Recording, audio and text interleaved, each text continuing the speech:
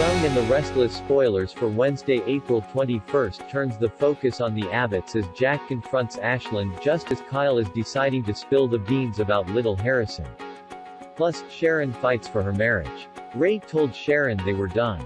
He is tired of coming in second to her obsession with Adam. Sharon offered to go to therapy.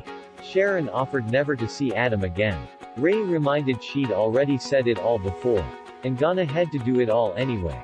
Sharon won't give up. When will she accept that Rey already has? Jack does not appreciate being jerked around, and he certainly doesn't appreciate the same being done to his son. After Ashland canceled the Jabot deal and started nosing around to see where the company was most vulnerable, Jack told Kyle to keep his distance from the New York mogul, then goes to confront him, himself.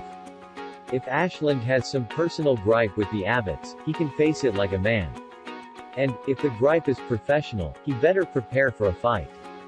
Kyle, meanwhile, demonstrates that listening is not his strong point when he ignores everything Jack told him and decides that not only will he not stay away from Ashland but that he'll go public with the information about his son.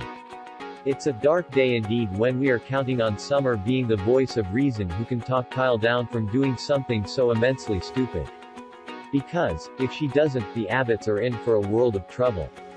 That they can all blame squarely on the dumb kid with the big mouth. The Young and the Restless airs weekdays on CBS. Check your local listings for airtimes.